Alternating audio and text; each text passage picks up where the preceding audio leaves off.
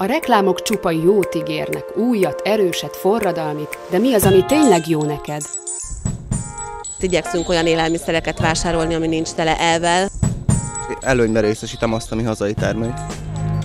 Vagy listát írok, vagy a fejembe megvan, hogy mit kell megvásárolni, és csak azt veszem. Azt vedd, ami jó neked.